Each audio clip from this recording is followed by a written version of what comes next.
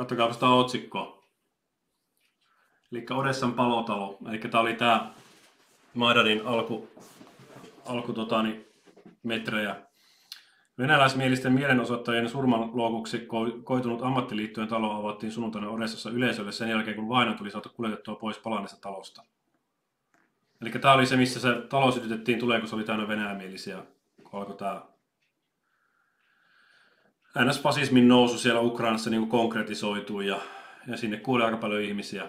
Ja sitten ne, jotka hyppäsivät ikkunasta alas, ne hakattiin maassa makavana. Ja ne kaikki ei hypännyt sitä ensimmäisestä kerroksesta alas niin kuin ihan vinkkinä vaan. Siihen aikaan IS uutisoi pikkasen eri tavalla. Silloin ne sano, käytti jopa termiä fasisti. Koska se oli niin absurdia, mitä siellä tehtiin ihmisille. Mutta tänä päivänä niin niillähän, no, niillähän hurrataan, kato nyt. Tälleen tämä menee. Ihmiset unohtaa varmaan nämä jutut. Onneksi internetti ei unohda. Ja silleen hatunnosto ISlle, että toi on edelleen löydettävissä. Olisi ne voinut ton bännätä tuon uutisen. Sehän on tämän päivän juttu. Bännätään kaikki tieto, mikä ei ole sellaista, mitä halutaan ihmisten silmille. Mä voisin katsoa tuon video. Tuollaista jälkeen siellä oli sitten tulipadon jälkeen. Tämä on siis uutisoitu 4. päivä toukokuuta 2014.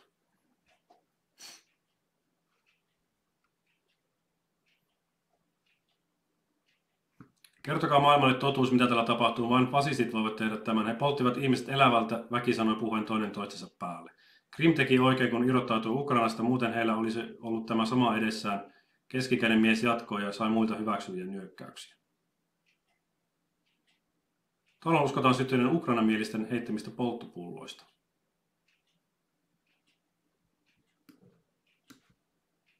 Näkyykö tällaisia otsikoita nykyään? Hmm? Ei ole näkynyt. nykyään ei enää kerrota niistä asioista, mitä siellä nytkin tapahtuu koko ajan. Kerrotaan vain se yksi totuus.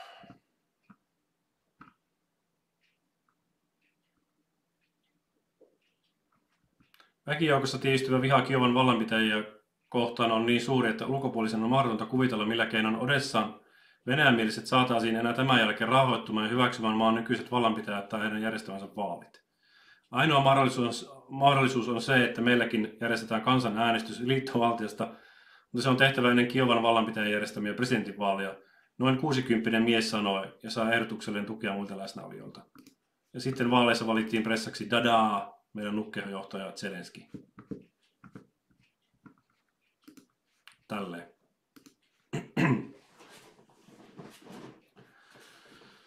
mutta, mutta. Täällähän nyt on vaan niin kuin jo viimeiset monta kuukautta tässä nyt on mennyt, yhdeksän kuukautta vaan hoitu sitä yhtä ja samaa mantraa. Kaikki paha tulee Venäjältä, kaikki mitä Ukrainassa tehdään tehtäisiin, tehtäisiin siellä sitten venäjämielisille mitä tahansa, ne on kaikki ok.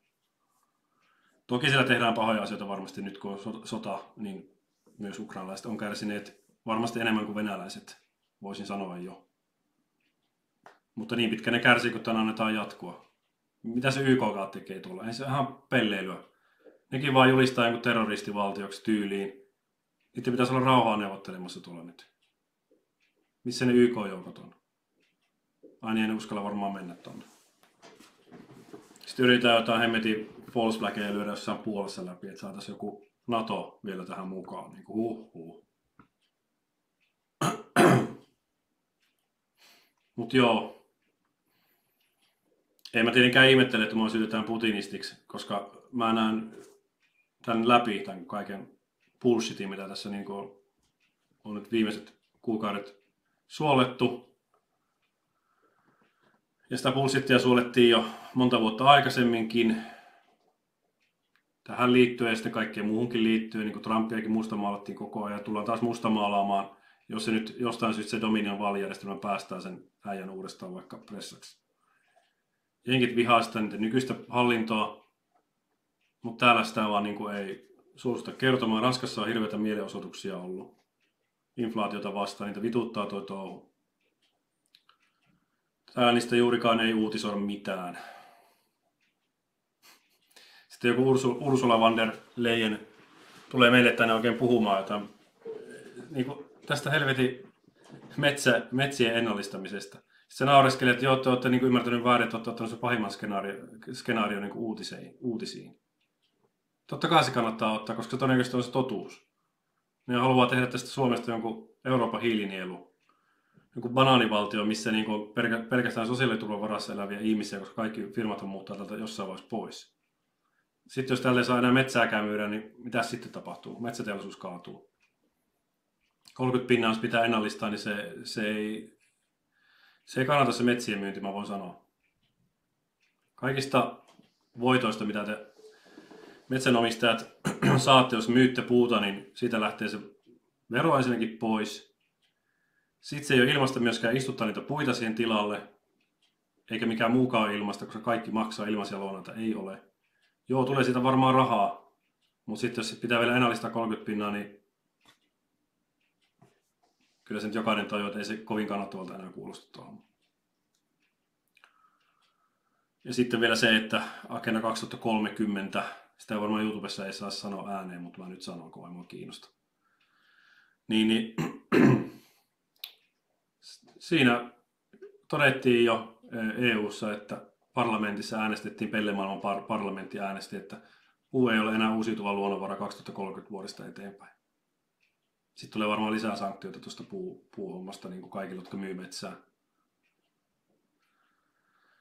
Se siinä.